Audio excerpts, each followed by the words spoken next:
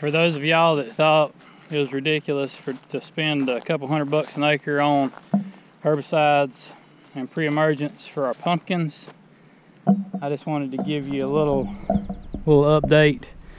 We are let's see two two days after I sprayed this for my second burn down plus pre-emergence. Lamb's quarters is a huge problem for us. It's got this slick leaf like a broccoli. Herbicide just won't hard to stick to it.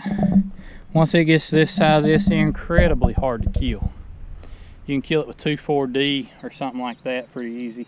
But with herbicides that you can use alongside your crop, you about can't kill this crap. And I just want to show you all this lamb's quarters that is just absolutely smoked. Right here's another another prime example. Top is done and the whole stem itself is dying down to the ground. And with that concoction, the pre-emergent that I used, this stuff ain't coming back. Right here's another patch of stuff that is incredibly hard to kill. I, I, won't guarantee that I've killed this stuff. I think they call this crap velvet leaf. Uh, I'm not sure, but it's, it's evidently like Johnson grass because it seems to spread from the root system. But anyway, uh, there's not a ton of that stuff, but hopefully I got it too. But anyway, the uh, the second burn down and pre-emerge gave some really good looking results.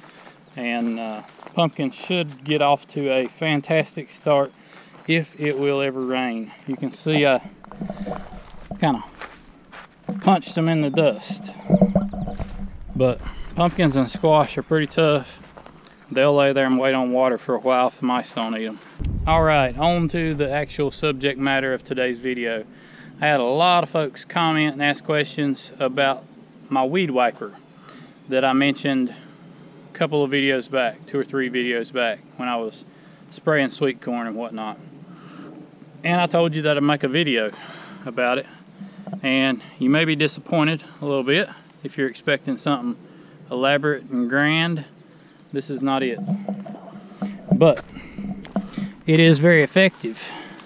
So this is my old XR70 I'd like to say from when I was a kid, but it's not. I was uh, in my late teens or early 20s when I bought this. Had a lot of fun on it and gave it to my son, my youngest son, for Christmas a couple years ago.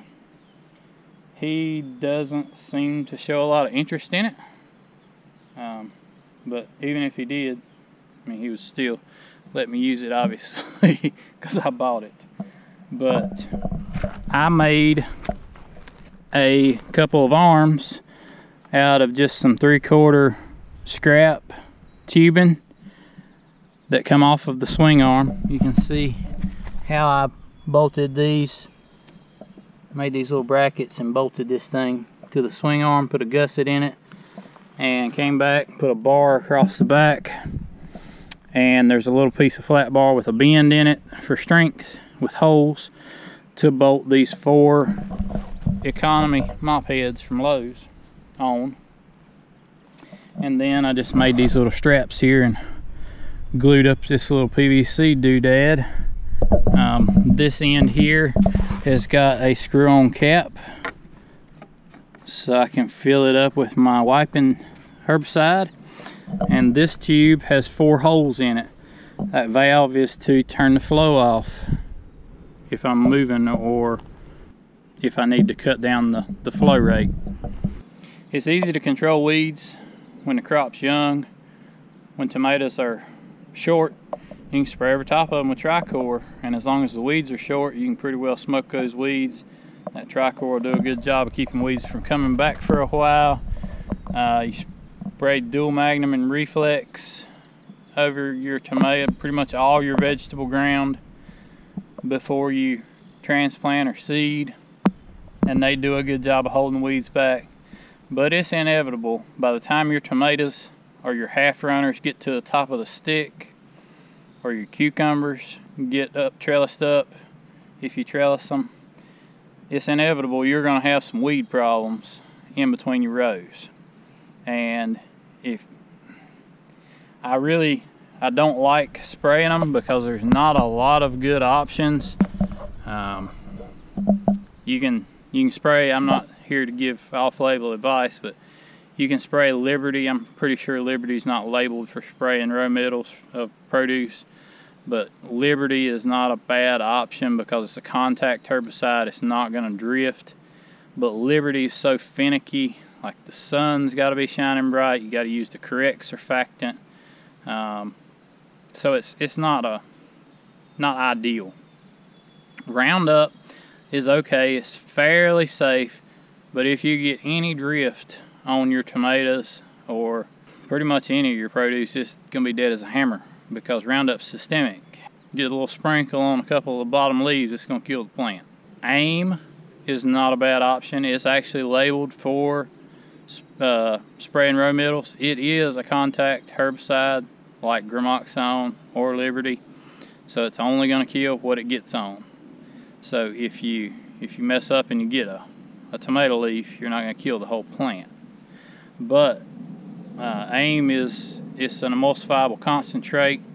It's a little more volatile, and I have found that it's if you're spraying it, it is super easy to speckle up a crop really bad with AIM.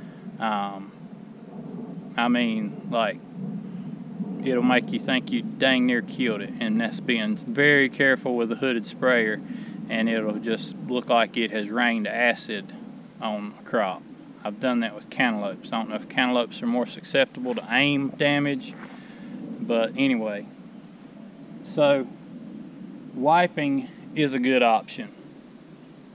Well, when the crops are up on sticks tomatoes are trellised to the top of the stick. Um, the squash are vined out big.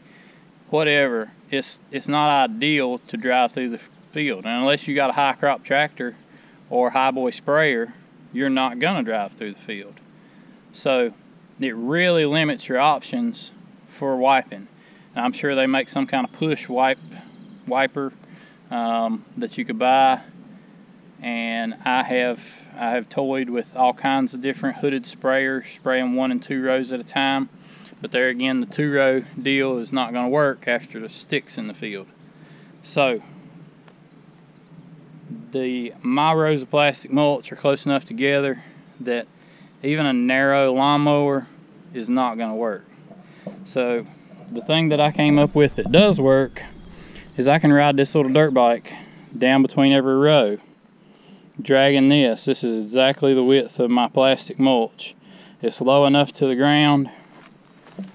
When it's standing up, it seems to be just the right height because it's right about the top of the plastic so it doesn't catch any any plants that are down either side if they're hanging out a little bit but it does seem to catch all the weeds.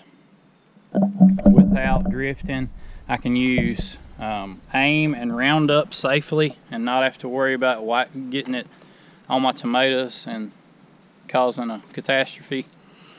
Um, the reason I like to use uh, Roundup and AIM is because Roundup don't discriminate. It kills everything except for the weeds that are resistant to it, like uh, Palmer amaranth, which we've got plenty of, lamb's quarters, mare's tail, uh, horse nettle, just to, to name a few problems that we have.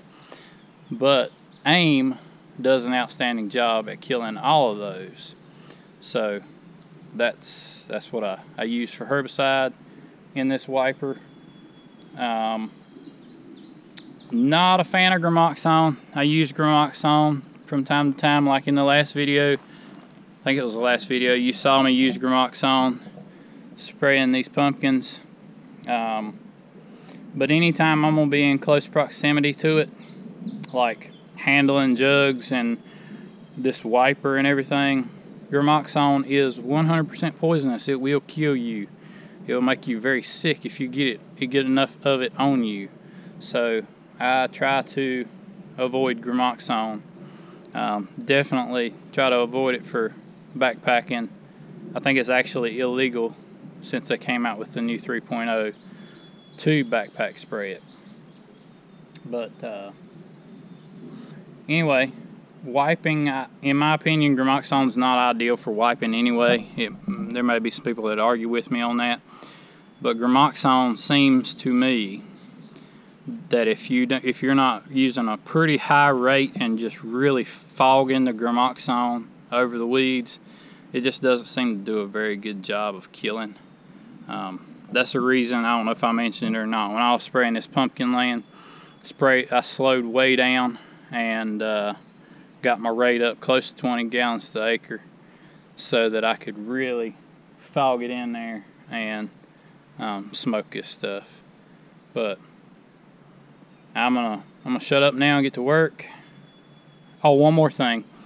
For wiping weeds, I've been told, and this is the way I do it, is about a 50-50 ratio of herbicide to water. So I use pretty much I use that jug half full of Roundup, a splash of AIM uh, because AIM is extremely potent, and then fill it up with water. So that's about a 50-50 concoction. Roundup, AIM, and water, and surfactant. You got to have the your surfactant in there, especially in my opinion for wiping, because it's gonna stick it to the weeds and help it to spread over the, the leaves. Anyway, I'm gonna get some herbicide in this thing and uh, get out here and let y'all see it in action.